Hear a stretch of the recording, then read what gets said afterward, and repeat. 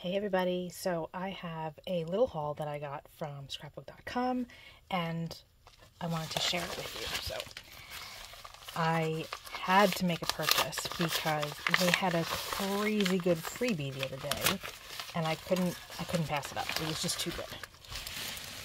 Okay, so I didn't get a whole lot of stuff.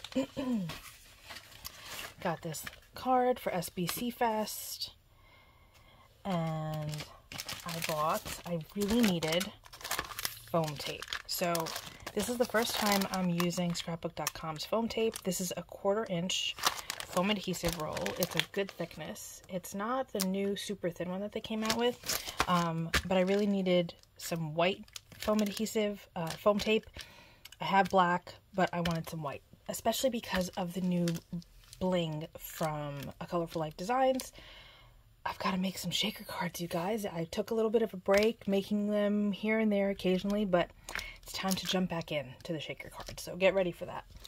And then I also got these dies from Avery Elle. I don't, they're called Everyday Alphas.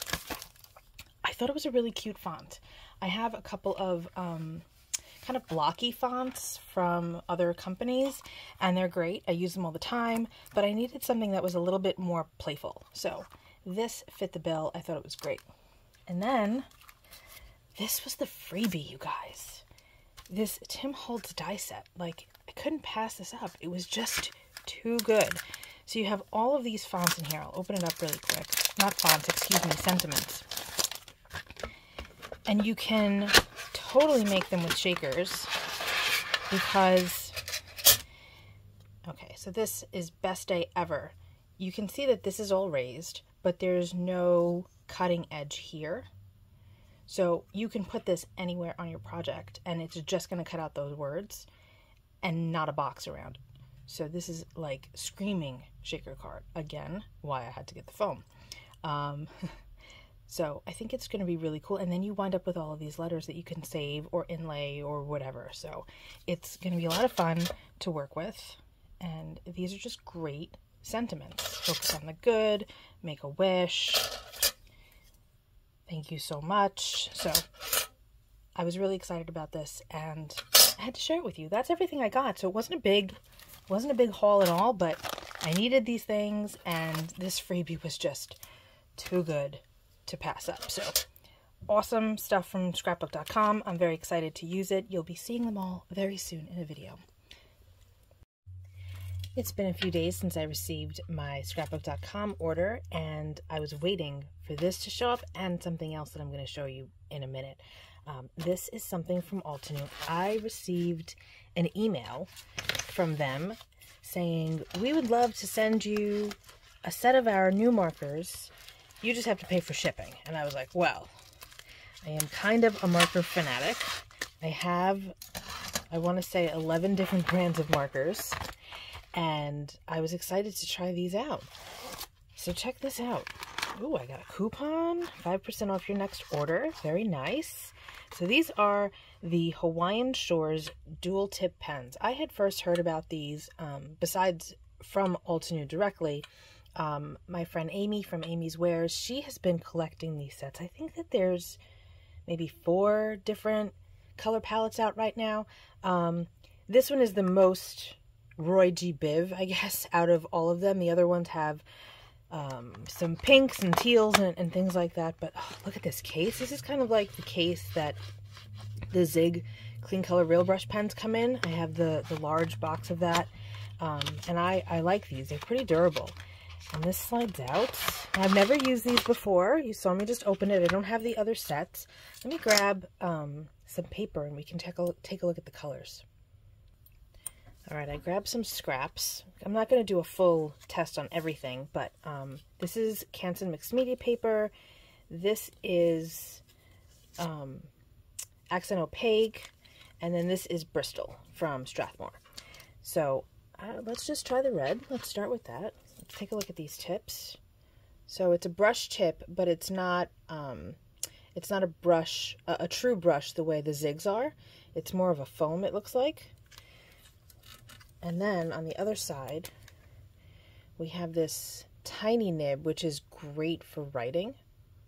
Very cool. Okay, let's take a look at this color. Let's start on the, the accent opaque.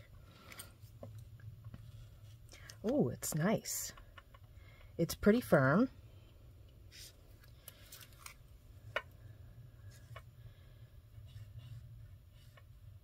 I don't, uh, I don't do hand lettering. I, have done it a little bit in the past, but I, I don't really know the right methods. But this seems like it would be good for hand lettering. Let's see that other side. Oh, that's cute. That's a nice size. That's really small. That would be great for fine detail work. That's a nice red, too. It's looking a little bit brighter on camera than it is in person. It's kind of a lumberjack plaid color, I want to say. Let me grab my swatches. That's aged mahogany, I think. that's fired brick. Let's see. Yes. So, to me, in real life, these colors are very similar. Granted, this is Distress, completely different company from Altenew, but just to give you an idea of what this red looks like in person, because it's looking way brighter on camera. Um, it's very much like a lumberjack plaid. Let's try it on the Bristol. And I'll have to grab a brush. Oh, it sits on top nicely. I can see that it's not really soaking in the same because that's, you know, accent opaque, it soaks in. Bristol kind of sits on top. Very pretty. Let's see. Let me grab some water and a brush and see how that reacts. It might not. I'm not really sure. Um, because this is, they're calling this a dual tip pen, not a marker. So they're not calling it like a watercolor marker. Let's see if it moves. Oh, you can get it to blend. Look at that. So that's on the mixed media. Check that out. It's it's blending out nicely. I don't really like to use um, water on my accent opaque, but it's, look at how that's moving. That's coming right, like, I can remove that line. And red is tricky because it tends to just not want to go away. That's cool. That's unexpected. I love that. And these dual tip pens are a really great price. Um, I was really excited that I got a set, but I was thinking about trying them out anyway. Do they have names on here? This is called Firefly. It even tells you what collection it's from, which is really cool. Let's see how we can get this to blend. This is the Just Green color. Probably should have started with the darkest and worked my way to light, but that's okay. This one's called Evergreen. And then let's go back. That's blending. I'm getting a little bit of pilling. That could be the paper.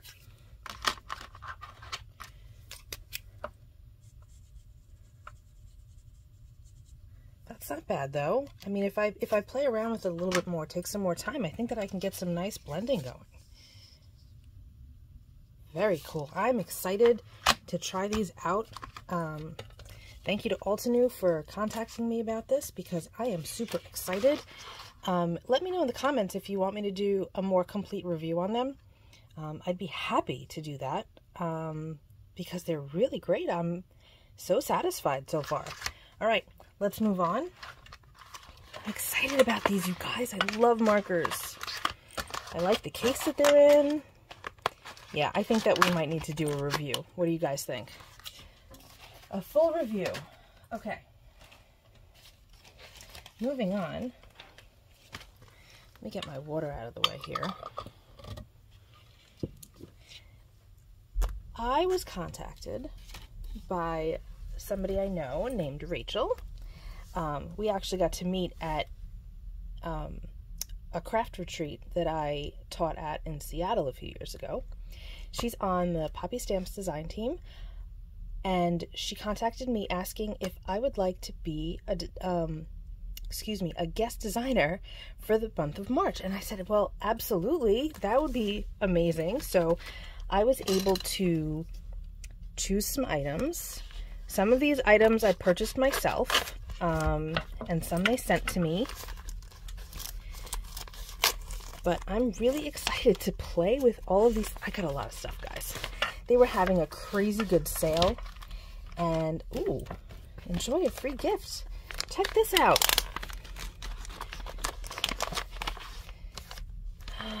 Ooh, we have some envelopes here. Look at how shiny they are. These are beautiful.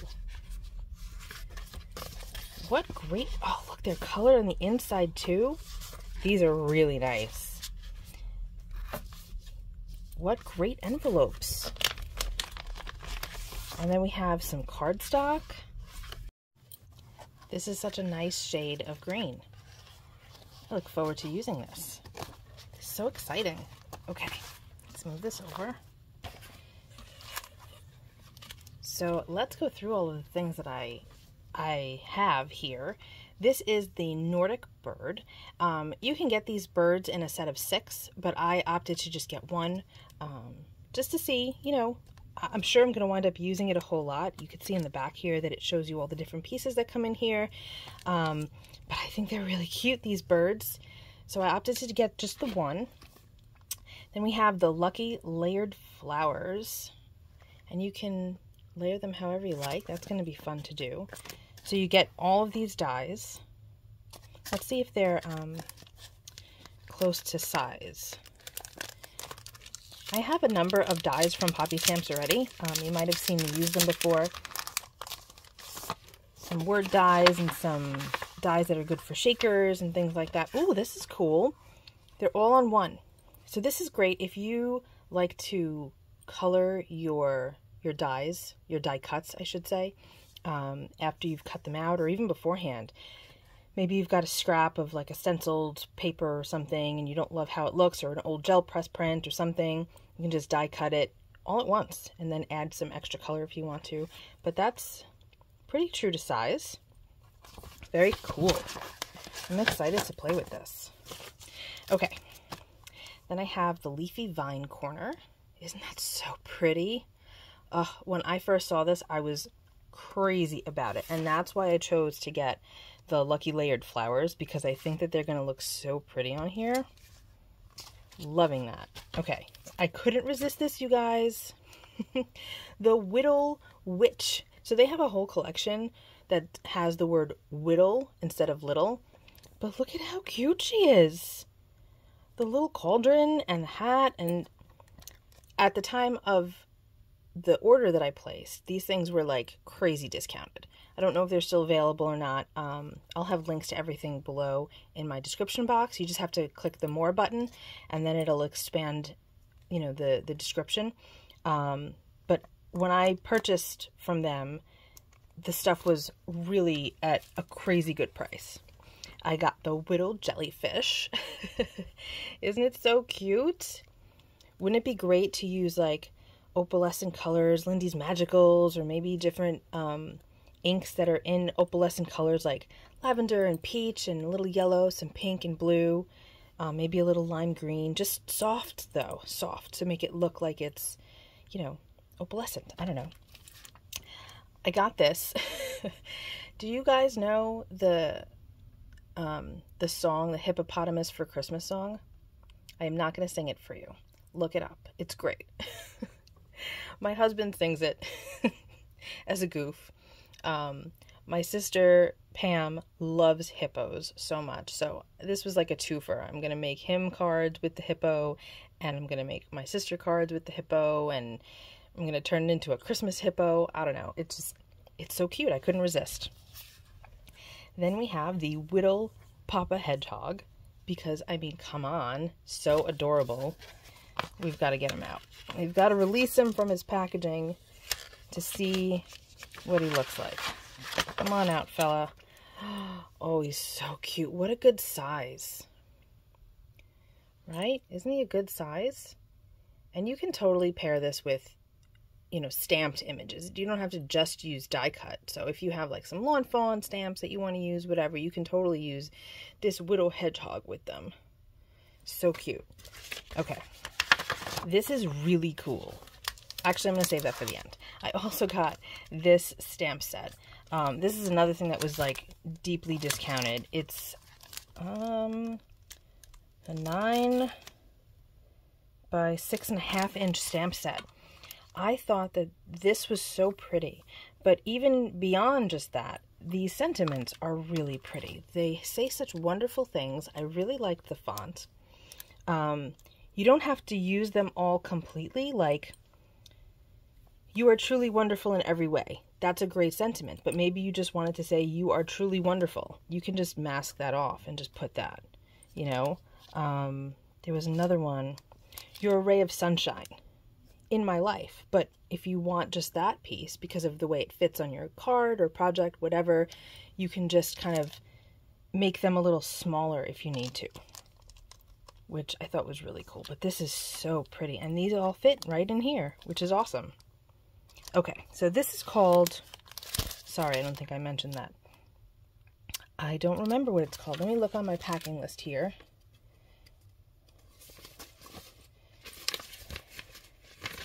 Um, ba, ba, ba,